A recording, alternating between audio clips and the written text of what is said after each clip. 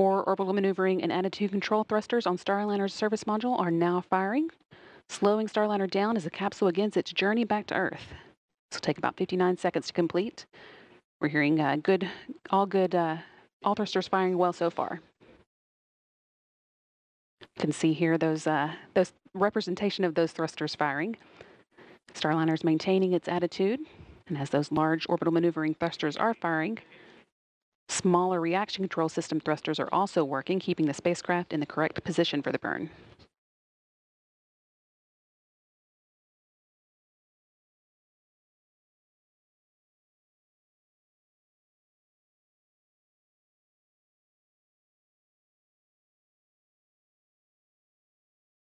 Still looking good.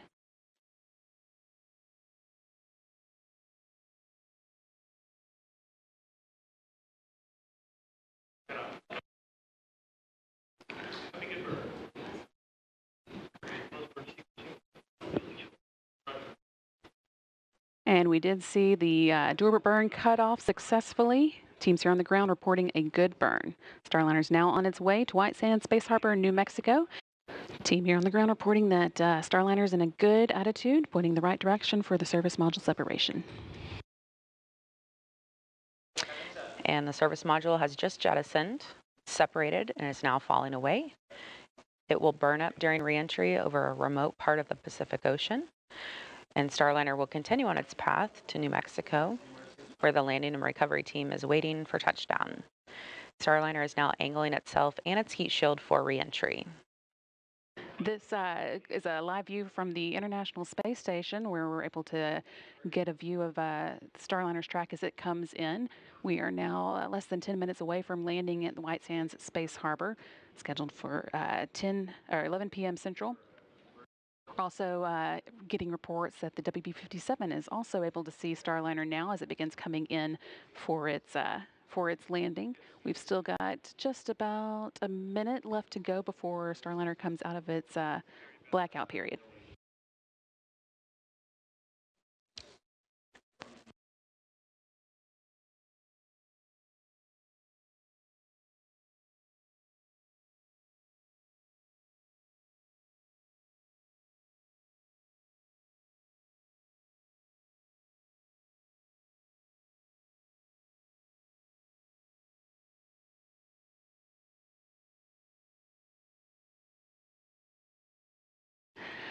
And this is a view from the WB-57, one of uh, NASA's aircraft that is uh, at the uh, landing site, has been uh, been uh, staged and ready to pick Starliner or uh, pick up the view of Starliner as it comes in, and that is what we are seeing now.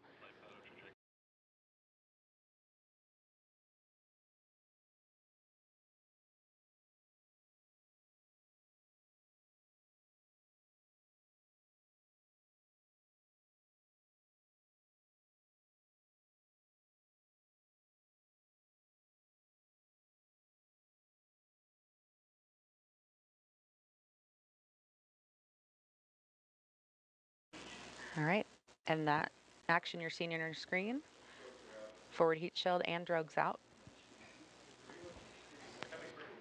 Really interesting view of this uh, coming down from the WB-57. See those two drogue parachutes uh, now deployed. They slow the uh, vehicle down initially until it gets to a, uh, a safe uh, speed for the enormous main parachutes to, to follow.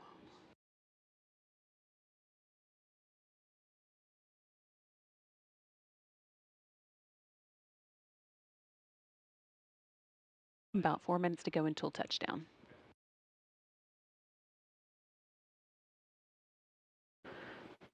Now back to a view from the Cessna aircraft in the uh, vicinity of the landing site. Again, this is a, a view from a little lower than the WB-57 we were seeing.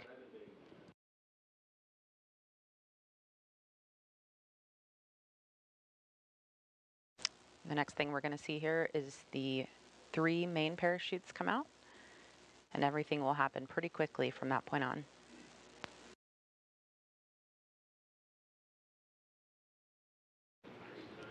After those mains are out, we'll see the uh, bottom heat shield that has been protecting uh, Starliner through its journey through the atmosphere come off. That makes way for the landing airbags to deploy.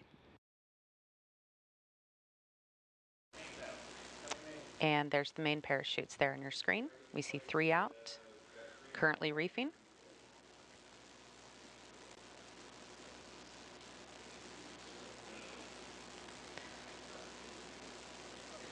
And the teams at the uh, landing uh, recovery teams report that they heard uh, the booms as those came out. Three good mains fully open there.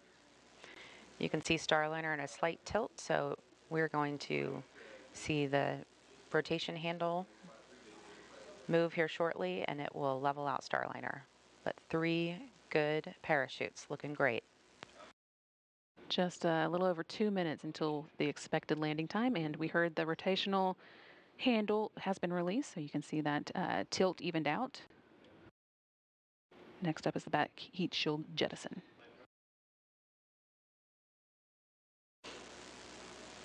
And there it goes. That again makes way for the airbag inflation. Nice to see that. You can see the airbags deploying there on your screen. Those airbags are filled with nitrogen as they guide Starliner safely back to the desert floor.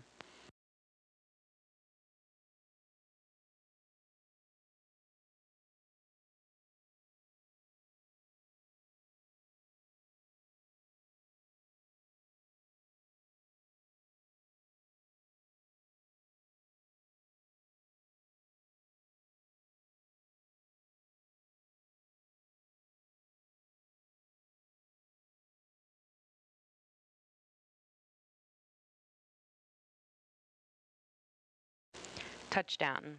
Starliner is back on Earth. That landing coming at 11.01 and 35 seconds Central Time, 10.01 and 31 seconds Mountain Time at White Sands Space Harbor at the U.S. Army's Missile Range in New Mexico. Our landing and recovery teams will now wait for clearance before making their way to the spacecraft.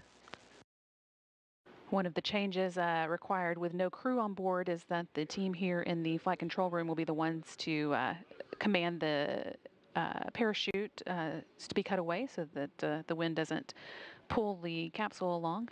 But uh, that's no problem for them. So now with with Starliner down, they can begin working on some of the post-landing to-do items. Again, uh, we saw Starliner touchdown at 11.01 p.m. Central Time. That's uh, one minute after midnight Eastern Time, or 10.01 p.m. Central at the landing site in New Mexico.